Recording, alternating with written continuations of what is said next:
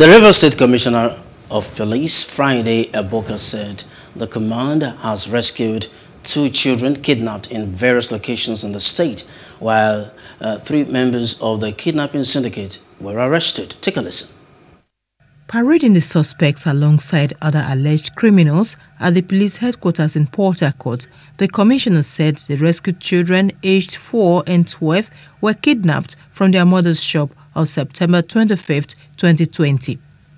Eboka said operatives from the command rescued the children following a covert operation on June 2021 and February 23, 2022. It could record on 25th of September 2020 two little children were stolen from their mother in, in shop. This one of them, who was just four years old then, was called uh, Favor Boniface, and his sister Miracle Boniface. We were solicited there, but been looking for them until recently, on the 20, on the 23rd of February this year, like just two days ago. Meanwhile, the police also paraded a fake military man following information that he was brandishing a rifle at a hotel in Rumuigbo area of Port Harcourt. First of this month, we had information that a suspect was brandishing a G3 rifle in a hotel, G3 Hotel at Rumugbo, Port Harcourt. We moved swiftly to the place, and the man known as Adamu Siraju the man in the military uniform there was arrested. Uh, this woman, I met her in Aba. So she now told me that one of her auntie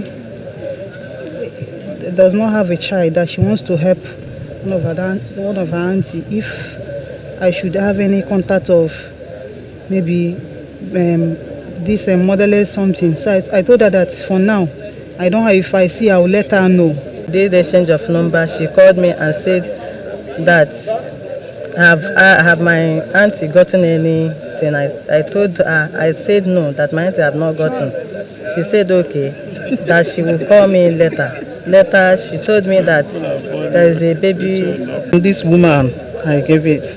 I told her when I, when I go to ministry, she said we we try to take. When I call her, she said we have. She called me. I will come there. She give me the child. I give her the money.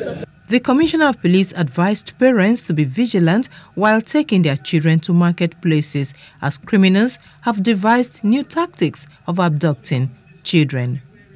Hello, hope you enjoyed the news. Please do subscribe to our YouTube channel and don't forget to hit the notification button so you get notified about fresh news updates.